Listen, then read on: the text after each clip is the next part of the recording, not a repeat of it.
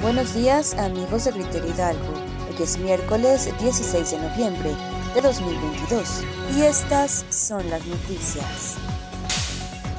En entrevista para el programa A Criterio D, Santiago Nieto Castillo, encargado del despacho de la Procuraduría General de Justicia en el estado de Hidalgo, aseveró que los delitos con mayor incidencia dentro de la entidad tienen que ver con la corrupción, el robo de combustible, los feminicidios y la violencia familiar plantean en el Congreso local que en Hidalgo las licencias de conducir tengan vigencia hasta de 8 años o incluso sean permanentes.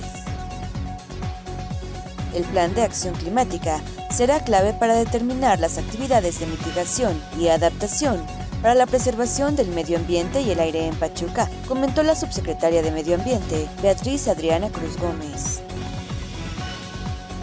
El presidente de Huejutla, Daniel Andrade, indicó que los lazos de familiaridad y amistad con el padre de uno de los jóvenes que agredió a un trabajador de limpias no ha sido impedimento para que el gobierno municipal ofreciera su apoyo al afectado.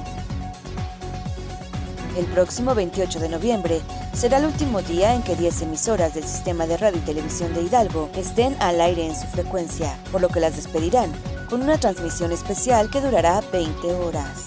Los invitamos a seguir a Criterio Hidalgo en las redes sociales. Recuerden mantener y reforzar todas las medidas de bioseguridad. Suscríbete a nuestro canal de YouTube para que estés al día de las noticias de forma rápida y oportuna.